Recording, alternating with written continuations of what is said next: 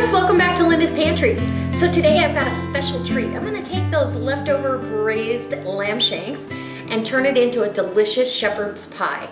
I made extra intentionally because we hadn't had shepherd's pie in a long time and I wanted to make sure that while my husband was home this weekend, I treated him with some of our favorites. So, that being said, if you like this video, I hope I get a thumbs up, share it on your Facebook page, and most of all, go down in the About section below and check out all the links that I've left for you. I've got my Facebook page, go hit like over there and join in on the conversation. I've also got my Wildtree website where you can go check out all natural organic products, no preservatives ever.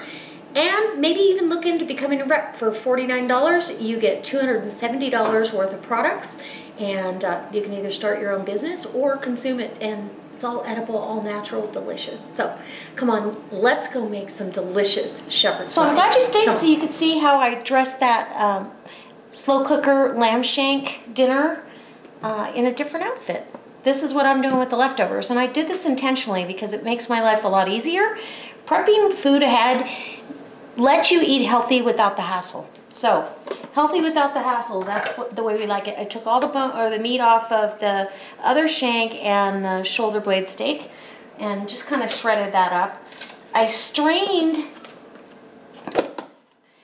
the mushrooms and the rest of the onion jam because that kind of just breaks down. I've got that into more of a consistent form and then this is the gelatinized, whoops, this is the gelatinized um, broth that was in there. And you can see all that collagen that breaks down from slow cooking the, with the bone in. It makes a fabulous stock. But because this is on the sweet side I do have uh, uh, some um, organic bouillon better than bouillon in there to beef it up a little bit give it a little more savory flavor. We've got some home canned green beans out of my garden. I've got some fresh thyme. And back here I have my um, sunshine potatoes. So we're gonna build us, what do you think? Oh, and I've got some cheese, a shepherd's pie. So it may not be a traditional shepherd's pie, but that's what we're doing tonight. And so I hope it inspires you to stay with me and uh, watch how I get it done. So first thing is we're gonna take this over and turn this into more of a gravy because as soon as you heat this up, that gelatin is gonna turn into All right guys, so now we're over at the stove. I'm gonna go ahead. I don't have any oil down here. I'm gonna try to keep this, uh, you know, as low fat as possible, but we're gonna put this down and remember, remember we have that, um, better than bouillon in here, so that's gotta uh, kind of melt into the mix. So I'm gonna get this up to temperature, and this might be too much, um, but we're gonna thicken it with a flour slurry, and I've got all-purpose flour with heavy cream. So it's gonna be delicious. That's why we don't need any additional fat here. So it's got a little bit of fat in the cream, or as much as gonna be in there. I'm gonna do some cracked black pepper. And we like pepper. So the better than bouillon is low sodium, so I don't need to add any salt because we got plenty of salt going on. We're just trying to add savory, more savory to it. And then I'm going to strip off some thyme leaves while this is getting, coming up to temperature. I've got this over a medium-high heat. And, ooh, this is really tender thyme. So if you get some stems in, when the stems are really tender, don't worry about it because they'll break before you get the leaves stripped off. Okay, fresh thyme. Thyme is just delicious in any hearty beef or lamb recipe, as well as um, rosemary. All those things are delicious. In fact, I might add a little dried rosemary to the mix because I think that'll actually take it to another level as well. So we'll add just a little bit of dried rosemary, maybe half a teaspoon. And let that kind of come into the, come to the party. And keep stripping these thyme leaves. You probably want a teaspoon of fresh thyme. If it was dry thyme, I would cut that in half because the flavors are concentrated. Hmm. I can't wait. We love shepherd's pie no matter how you how you stack it. It doesn't have to be traditional. It can be any way you want to put it together. I believe that that little concoction was exactly what I'm doing. It was created out of leftovers and became a favorite. And I've always made a shepherd's pie after, let's say, um, a fried chicken, mashed potato, and gravy dinner because I always make extra potatoes. If you're gonna make, you know, mashed potatoes, always make extra, and then you can do so many things with the leftovers. You can make potato pancakes, you can make pierogies, you can make all kinds of things. So here we've got this. As soon as it comes up to a boil, I'm going to add some of this slurry to thicken it. I don't know if you can see that. And I'll bring you back when I'm doing that because we've got this up a take a simmer and. I'm going to let it simmer for just a couple of minutes while I do a couple things. I wanted to talk about when you're changing something from a sweeter dish to a savory dish, the missing components um, are usually an acid of some sort and some heat. And so I'm going to also add just a dash of cayenne. And of course, savory herbs helps. I'm not, I want to tell you it's a pinch. You don't want any background heat, but it it'll add something with it without you knowing it. And then I've got some um, red wine vinegar. I'm just gonna add maybe maybe a teaspoon of that to it. And then before I finish this, give it a nice whisk. I'm gonna go ahead now that I feel like the herbs have had a chance to lend some of their flavor. Um, I'm gonna go ahead and taste it. In my opinion, any good cook tastes along the way to make sure that their plan is playing out and they don't have something unexpected. So, get your spoon in there, and you only need a little bit on the end of the spoon. Mmm, perfect. Just gives a little acidity and it balances that sweetness from the sugar because there was sugar in that onion jam. So there you go. And I didn't want to go back to the balsamic. I wanted to kind of edge away from that. So the red wine vinegar was really perfect for that. So I'm going to go ahead and thicken this. Bring this up to temp because that cream slurry and flour, you know, flour slurry is going to um, slow this down a little bit. And we want it to, I'm going to add just, you know, a couple tablespoons at a time because I don't want it to over thicken. I wanted a nice gravy. And as you can see, we're going to get it thick pretty quickly. And just keep whisking and whisking and whisking. And as soon as I got it to thickness, so so now I've got it to where I want it. I think this is perfect. It's not too thin and it's not too thick. We are ready to start this process of putting this together. And I got you close up so you can see how it goes together. And what I'm gonna do is a little bit different than I normally would do. Um, normally I'd put the meat at the bottom, but this time I'm going to put the mushroom mixture. And I'm wearing a glove because I don't want my hands in all this, but I'm putting the mushrooms and the broke down jam, if you will. Um, all the onions that are in that onion jam. Don't want to waste any of that. I'm going to spread that out in a thin layer on the bottom of this casserole dish. And this casserole dish, um, there's a piece of meat right there, uh, is about, I'm going to say 8 by 10. It's, it's not huge, you know, it's actually perfect for two people and then you've got a lunch for the next day. Dinner and lunch, there you go. And then on top of that is where I'm gonna put my meat. So you really have those hearty mushrooms and that was a pound and a half of mushrooms. So that was a lot of mushrooms. And I've got this shredded deboned meat off the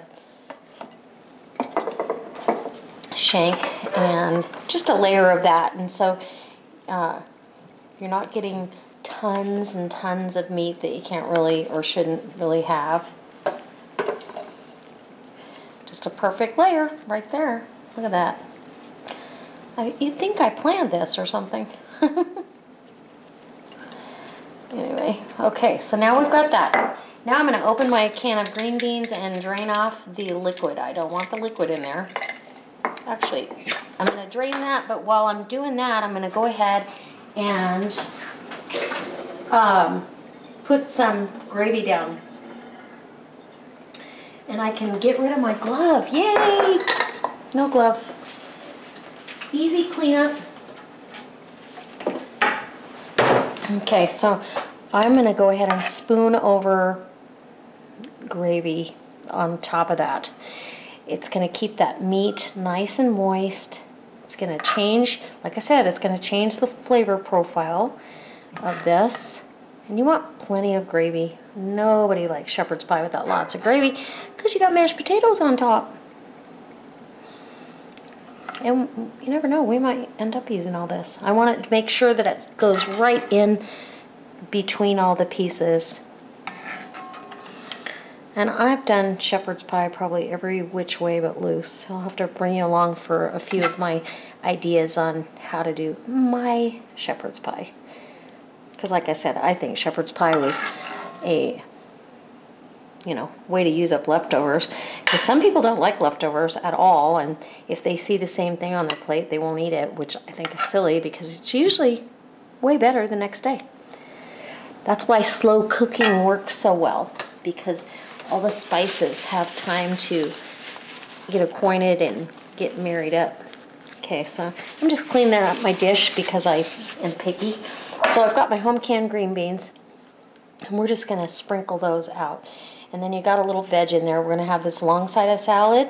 So we're gonna get plenty of vegetables. The mushrooms are so good for you. 100% of your vitamin D. And these green beans are from my garden two years ago. I didn't have to even can green beans last year because I still had so many from the bumper crop from the year before. And I'll even give it a taste test. Mmm. Just like I canned them yesterday, they're delicious. I'll wash that jar up for another canning process. And there you go. Mmm. Rinse my hand. And now the last steps are coming up.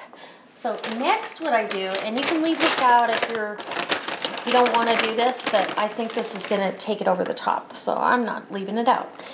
I am putting a layer of cheese, because cheese always makes everything better. That and bacon, and ice cream, and cake, and sausage, and smoked pork butt, and no. I'm kidding. Okay, so get serious here. Okay, so just a nice little layer, maybe, oh, three-fourths of a cup to a cup of fine grated cheese. And we've got our leftover potatoes, so you can see I got a lot of potatoes left. Well, I, I just had an idea of what I'm going to do with the leftover gravy and these potatoes. So you want to kind of bring your potatoes close to room temperature. Not necessarily room temperature. Now you can um, put these on with a pastry bag if you'd like.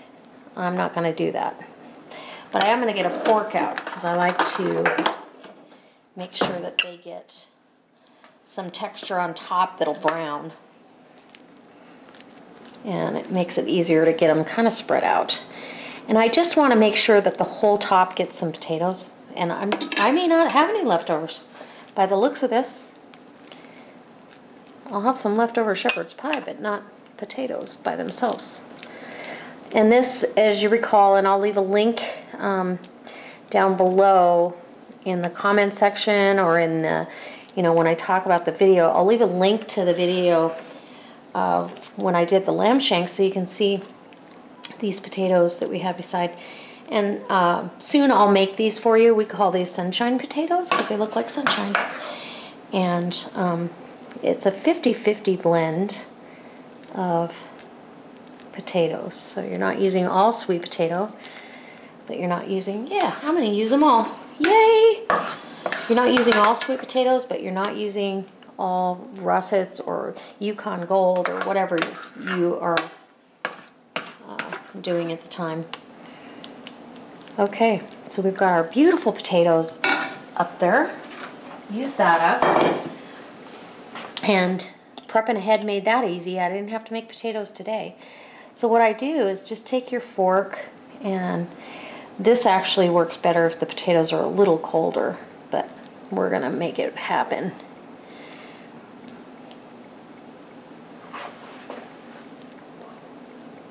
And you're just gonna get some texture on top here. I don't know, I kind of go both ways and see what looks like it's got the most in there. And all those little peaks will brown off. We're gonna put this in a 375 degree oven until this top is golden brown and I can see everything bubbling from underneath. And I'll bring you back and show you what that looks like. Okay, so here's the finished product. I've let it rest. You've got a nice crispy little top going on. And sometimes you can get this out um, perfectly and sometimes, you know, you have to sacrifice that first piece. So I'm just taking my fish spatula and going down in here. And it doesn't have to be perfect. That's the wonderful thing about ooh, our um, shepherd's pie. It does not have to be perfect. So now I, that I've got it kind of moved away, it looks pretty juicy in there. Sometimes you need to let it set up a little bit, but my husband's So here we have our end result, and actually, this reminds me more of a pot pie because I, I cut into it too hot, but that's okay. My husband's gonna love it just the way it is, and I'm gonna get to take a taste of it because I'm doing salad tonight. I'm gonna stay away from, he likes black pepper on everything. And so we're gonna put some cracked black pepper. But you can see the top got nice and crispy. And if you left this sit for 20 minutes, it would be easier to cut out and be in one piece. And I might let the rest of it just sit and then do an end shot of that. I've got a nice um, powerhouse green salad. This has got kale and chard and spinach and a really nice homemade dressing. I've got a homemade Caesar and some organic tomatoes, or no, those are greenhouse tomatoes, sorry. Okay, so I'm going to take a bite of the meat and the gravy and all that. And mushrooms. Mm.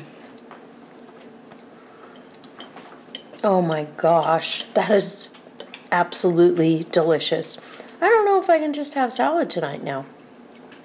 I might have to eat some of his. Mm. Let's get some potatoes. It's such a nice change from, you know, usually you use a ground or a minced meat, and this is just a shredded pull apart meat, and it's fabulous. I'm going to tell you, my husband is going to go crazy. He'll probably eat half that casserole, but I'll try to get a setup piece picture for you. And this is so so good. And uh, you know what? These are fun to make. I could have made individual little ramekins too.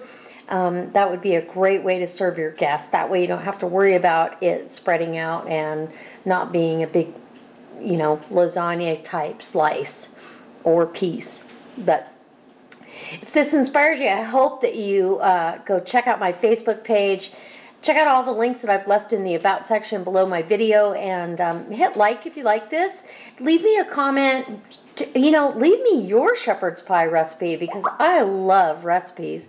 And as always, guys, I can't wait to see you next time. If you're not a subscriber, hit that subscribe button and you get notified anytime I upload a video, which is very, very often, about every other day.